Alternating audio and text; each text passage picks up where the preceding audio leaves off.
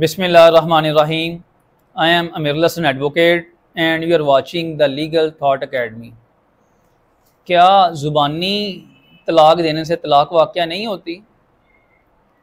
کیا پاکستانی قانون کے مطابق اگر طلاق دیں تو پھر ہی طلاق ہوتی ہے؟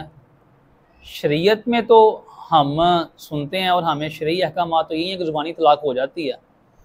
تو پھر یہ پاکستانی طریقے کے مطابق نوٹس بھیجنا یونین کونسل کو اور بیوی کو کیوں ضروری ہوا؟ تو آئیے ان سارے سوالات کے جواب جانتے ہیں اس ویڈیو میں۔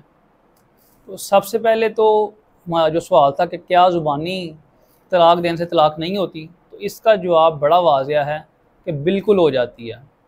شریعت اس کے اوپر مکمل طور پہ بالکل ہر طرح سے واضح ہے کہ زبانی طلاق دینے سے بالکل طلاق ہو جاتی ہے اور اہل تشیع کی اگر ہم بات کریں اسپیسیفکلی تو وہ تو مانتے ہی زبانی طلاق کو ہیں کہ جب تک طلاق کو لٹرل عربک ورڈز میں طلاق کے سیگا جات نہ پڑے جائیں تو اہل تشیع تو کہتے ہیں طلاق ہی نہیں ہوتی۔ تو بات کرنے کا مقصد یہ ہے کہ زبانی طلاق دینے سے طلاق ہو جاتی ہے۔ اب دوسرا سوال یہ تھا کہ طلاق کا نوٹس ہم کیوں دیتے ہیں پھر؟ ہم یونین کونسل میں نوٹس بھی جو آتے ہیں طلاق کا اس کی ایک کاپی بیوی کو بھجواتے ہیں، تو یہ ہم کیوں کرتے ہیں؟ تو جی اس کو پاکستانی قانون نے لازم قرار دیا ہے۔ پاکستانی قانون ہے Muslim family law ordinance nineteen sixty one, انیس سو اکسٹھ کا یہ قانون ہے۔ اس نے اس کو لازم قرار دیا کہ یہ نوٹس بھجوائے جائیں گے۔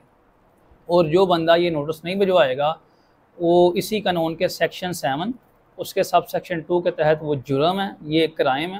اور اس کی ایک سال قید اور پانچ ہزار روپے جرمانہ مقرر کر دیا گیا ہے۔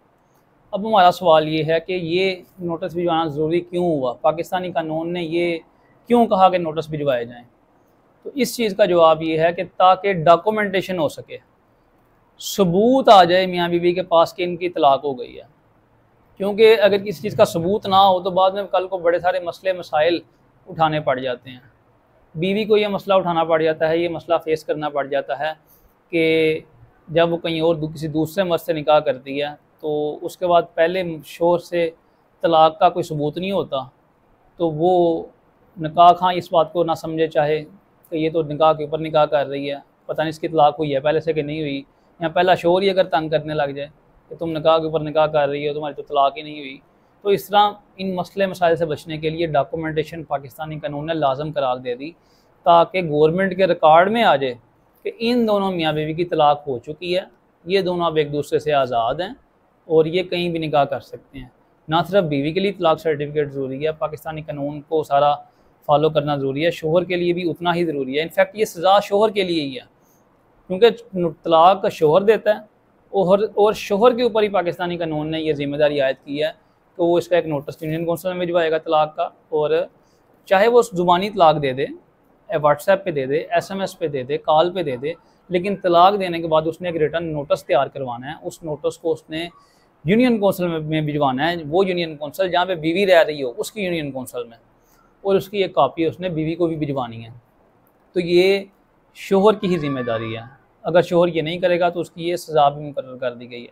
اب شوہر کے لیے یہ سب کرنا کیوں ضروری ہے؟ میں نے آپ کو بتایا کہ تاکہ قانونی مسلم سال سے بچا جا سکے ڈاکومنٹیشن ہو سکے۔ عورت کی تو میں نے آپ کو اگزامپل دے دی۔ شوہر کی یہ اگزامپل ہے کہ کل کو بیوی نہ اٹھ کے آ جائے کہ وہ کہے کہ مجھے وراثت میں حصہ چاہیے۔ طلاق ہی نہیں ہوئی، وہ مانے ہی نہ طلاق ہو۔ تو یہ ڈاکومنٹیشن شوہر کے لیے بھی ضروری ہے۔